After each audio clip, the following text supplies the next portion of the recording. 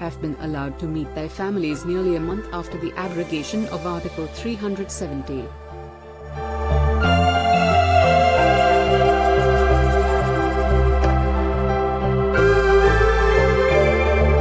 Omar Abdullah and Mehbooba Mufti are under preventive detention.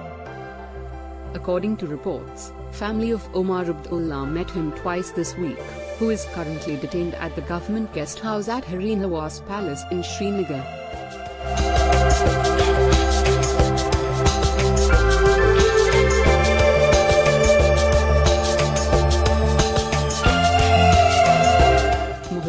Mufti's mother and sister were allowed to meet her on Thursday, August 29.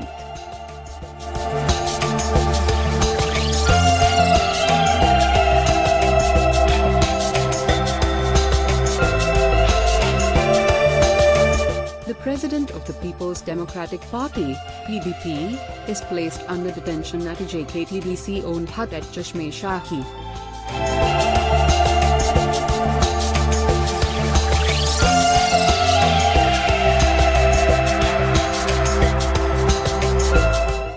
Omar and Mehbooba reportedly don't have access to telephone, newspaper and cable TV.